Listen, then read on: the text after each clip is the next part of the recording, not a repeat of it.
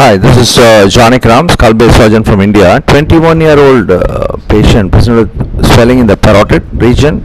It's a superficial uh, parotidectomy was planned. It's a pleomorphic adenoma.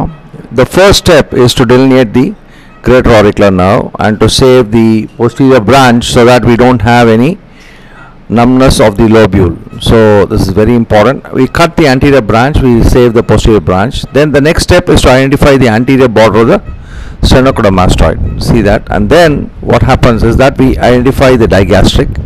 So the most important thing is to identify the digastric. and once we identify the digastric, we go upwards towards the um, tragal pointer and we do what is called the bay technique and then we start identifying the facial nerve. So here we have identified the facial nerve. It is an edited video but just want to show you how we dissect after we identify the facial nerve. See, go along the plane. So and then use an artery forceps and either you can use the bipolar or you can use a uh, unipolar to cut all the tissue above. This is a pleomorphic adenoma. Very important that we don't damage the uh, pseudocapsule of this tumor because if it spills, there is a chance of recurrence. You can see how nicely the dissection is coming up, and uh, this is the branches of the facial nerve being traced. You can see the zygomaticotemporal and the cervical facial so that is actually the dissection above the so this video is mainly to show how we dissect a tumor once we identify the facial nerve. Of course i have also made videos of how to identify the facial nerve by what is called the bay technique.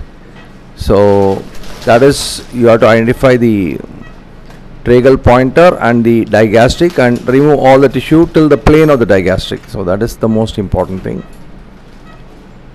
You can see here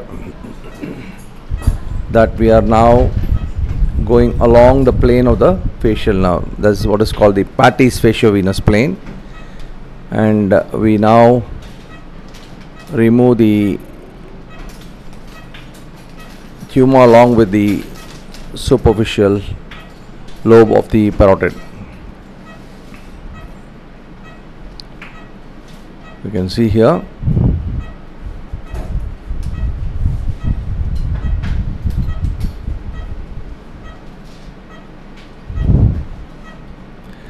this uh, surgery was done a few years back. You can see how the clarity of the surgery is so good. You can see that the tumor along with the superficial lobe parotid has been removed. And you can see the facial nerve the branches of the facial nerve.